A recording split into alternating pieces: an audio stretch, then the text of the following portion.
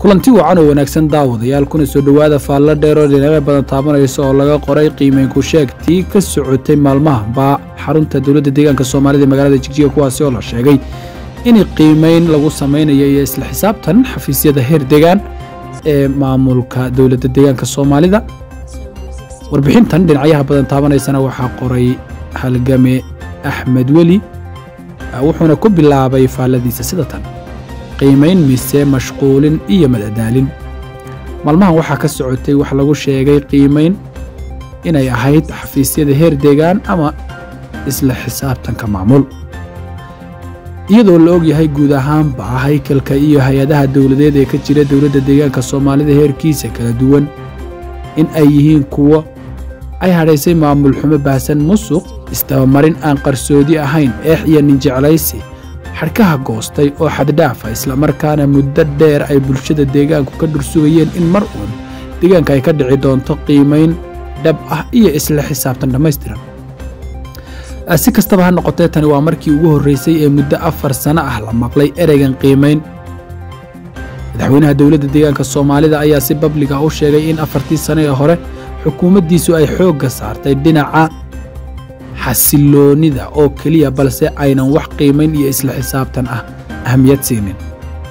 Haddaba iyada oo muddo intaa la eg aan la qabanin wax qiimayn ah mid guud iyo mid gaar ahaaneedba filashada. Bulshaduna ay tahay heerkii ugu sarraysay sidaas daraaddeed qodobada u baahan in la isweydiiyo ama laga falceliyo islamarkaana si waafi ah ama waaqic ah looga jawaabo waxa ay yihiin sida tan iyadoo aan ognahay in hannaanka dowladeed ee haatan ka jira dowladda deegaanka soomaalida lagu soo xulay hoggaamintiisa ugu sarraysa inuu yahay mid saami qaybsi qabiil. Iyadoo aan ognahay heerka ay gaadheen muddooyinkii ugu dambaysay qabyaaladda eexda ninjeclaysiga iyo lunsiga hantiga dadweynaha iyo adeeg la'aanta bulsho islamarkaana laga dayrinaya heerka ay marayso noloshii caadiga ahayd ee bulshada ku dhaqan magaalooyinka deegaanka dadka ku noolaa miyiga fogfog iyo tuulooyinka. Haddaba marka ay xaaladaha isku sooxan ama isku murugsan iyo mushkuladahan isbarkaneen kor ku soo xusnay ay ka jiraan shacabka deegaankuna la daalaadhacaya dhibaatooyinkaas. Badankoodna ay yihiin kuwo dad samee ah. Kow maxaa laga filan karaa qiimaynta? Muddaba isha lagu hayay. Laba qiimayntu ma noqon doontaa mid jawaab u noqota ama wax lagaga qabto maamul xumadan iyo musuqan baahay saddex mase tahay mid si dhab ah laysula xisaabtamayo ilaa heer la ysaga tallaabo qaado oo mas'uulka ku fashilma ama gudan waaya waajibaadkiisa shaqo lagaga xayoobiyo xilka ummadda u hayo. Afar mise tahay mid lagu baysgaraynayo xaaladda dhabta ah ee deegaanka ka jirta sida sicir bararka iyo waxyaabaha uu salka ku hayo shaqola'aanta ka jirta iyada oo milyanis lacag ah.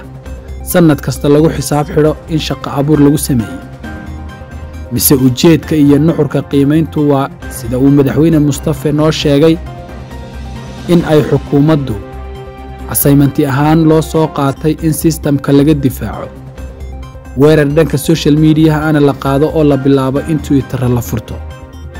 Ugu dambayn anigu shakhsiyan waxaan hubaa in haba yaraatee aan wax shaki ah igaga jirin in su'aalahan.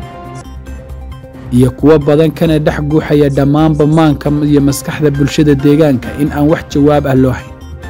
Sababta ugu weyn sababta ugu weyn ee meesha ka jirta ama sartu halka ay ka qudhunsan tahayna waxaa weeye mustafe cidna lama xisaabtami karo. Bikaws isaga ayaa hormuud ka ah dhibaato kasta oo ka jirta hadday musuq tahay maamul xumo. Eex boob hantiyeed oo dabcan wixii maanta ay ahayd in layskula qiimeeyo.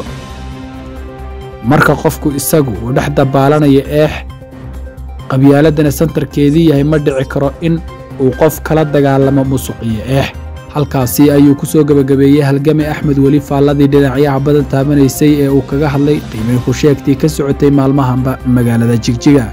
Tan iyo intaynu isugu soo noqon doonna barnaamijkan oo kale ana waxaan idinkaga tegaynaa sidaas iyo ammaane allah